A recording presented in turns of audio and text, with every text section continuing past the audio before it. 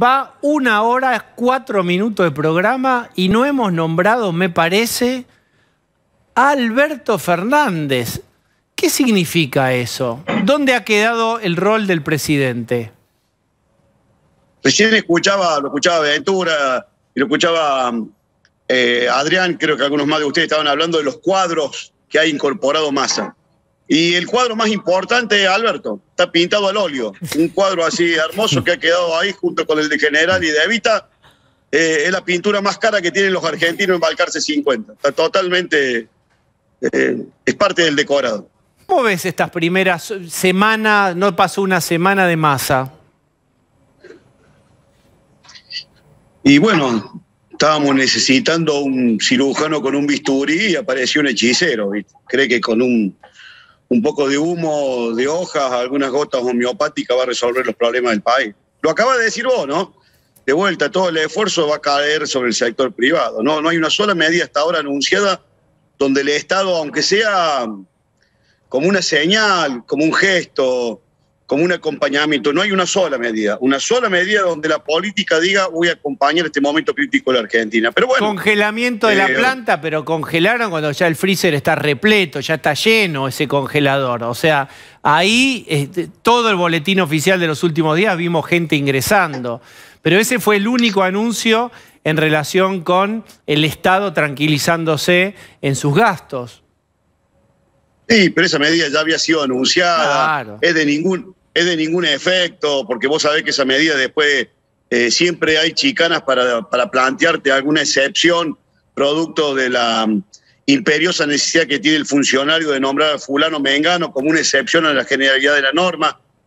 No, no, no, no hay un solo gesto. En esto digámoslo con toda la letra, más allá de la picardía de masa y toda esta cuestión histórica que él tiene para mostrarse como un tipo eh, resolutivo. Fíjate el papelón del viceministro, eh, pero bueno, pero ha logrado el tipo con esa cosa magnética que tiene el peronismo de generar esa, esa inopsis.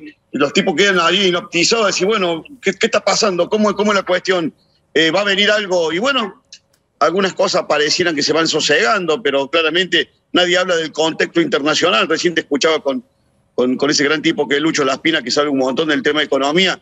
Y es cierto, en, este, en estos últimos 20 días también el contexto internacional ha acompañado, y bueno, todo eso lo suma Massa. Massa es un, Massa es un tipo que suma todos logros que no son propios, pero lo suman como si fueran de él, pero hasta ahora no hay un, solo anuncio con seriedad, con, con inteligencia para, para ver cómo vamos a detener esta debacle, que te vuelvo a insistir, te lo dije en tu primer programa cuando fui hace 10 días atrás, Massa lo pusieron para prolongar la mecha de una bomba que claramente le va a explotar al próximo gobierno. Esa es la tarea de Massa y la viene cumpliendo eh, con una rigurosidad matemática.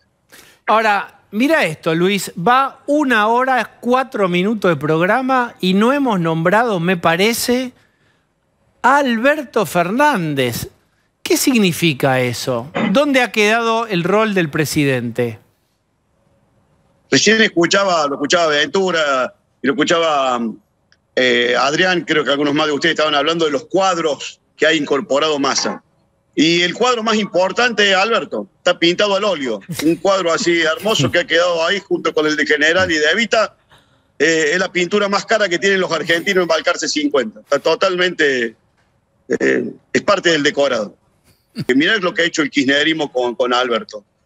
Eh, claramente lo ha, lo ha recluido a un dibujo animado, pero, pero el presidente. Si él no recupera la autoridad, si él no, no entiende su condición de presidente y no entiende que el poder eh, en este tipo de instituciones, eh, en esta constitución y la república la tiene el presidente y no un ministro de Economía, estamos complicados, verdaderamente complicados. Pero bueno, eh, esta, esta es la decisión que nosotros los argentinos deberíamos haber sabido cuando Cristina lo nombró a Alberto, ¿no?